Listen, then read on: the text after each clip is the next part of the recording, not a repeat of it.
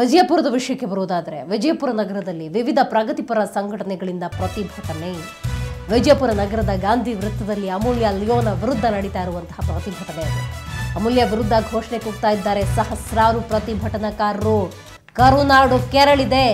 ದೇಶದ್ರೋಹಿಗಳಿಗೆ ಕಠಿಣ ಶಿಕ್ಷೆ ನೀಡುವಂತೆ ಪ್ರತಿಭಟನಾಕಾರರು ತಮ್ಮ ಆಕ್ರೋಶವನ್ನು ಹೊರಹಾಕ್ತಿದ್ದಾರೆ. ಏನೋ ಒಂದು ಹೇಳಿಕೆಯನ್ನು ಕೊಡೋ ಸಂದರ್ಭದಲ್ಲಿ ಯಾಕೆ ಯೋಚನೆ ಮಾಡುವುದಿಲ್ಲ? ಯಾವ ಋಣವೂ ಇಲ್ಲದೆ ನಾವು ಭರತ ಖಂಡದಲ್ಲಿ ಜೀವನ ಮಾಡ್ತಿದ್ದೀವ? ಯಾಕಿದೆಲ್ಲ ಅರ್ಥ ಆಗೋದಿಲ್ಲ? ಇವತ್ತಿನ ಯುವ ಸಮುದಾಯದ ಹಾದಿ ಯಾವ ರೀತಿ ಇದೆ? ಕೇವಲ ಇವತ್ತು ನಮಗೆ ಕಾಣ್ತಿರೋದು ಅಮೂಲ್ಯ ಮಾತ್ರ ಇರ್ಬೋದು, ಆಕೆಯ ಹಿಂದೆ ಅದೆಷ್ಟು ಜನ ಇದ್ದಾರೋ ನಿಜಕ್ಕೂ ಕೂಡ ಗೊತ್ತಿಲ್ಲ. ಕೂಲಂಕುಷ ಪರಿ, ಪರಿಶೀಲನೆ ಆಗಬೇಕಾಗುತ್ತೆ, ತನಿಖೆ ಆಗಬೇಕಾಗುತ್ತೆ. ಇವತ್ತು ಮೈಕ್ ಹಿಡಿದು ರಾಜಾರೋಷವಾಗಿ ಅಷ್ಟು ಆತ್ಮವಿಶ್ವಾಸದಲ್ಲಿ ಪಾಕಿಸ್ತಾನ್ ಜಿಂದಾಬಾದ್ ಅಂತ ಹೇಳಬೇಕಾದ್ರೆ ನಿಜಕ್ಕೂ ಕೂಡ ಆಶ್ಚರ್ಯ ಆಗುತ್ತೆ.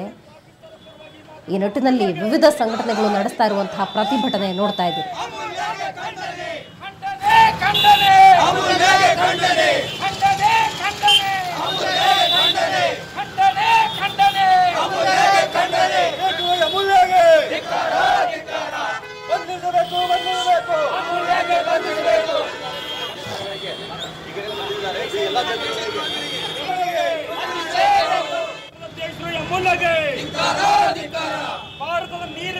ಪಾಕಿಸ್ತಾನ ಪರವಾಗಿ ಮಾತಾಡಿದ ದೇಶದ್ರೋಹಿ ಅಮೂಲ್ಯಗೆ ಇಂಡಿಯಾದ ಗಾಳಿ ಸೇವಿಸಿ ಪಾಕಿಸ್ತಾನ ಪರವಾಗಿ ಮಾತಾಡಿದ ಅಮೂಲ್ಯಗೆ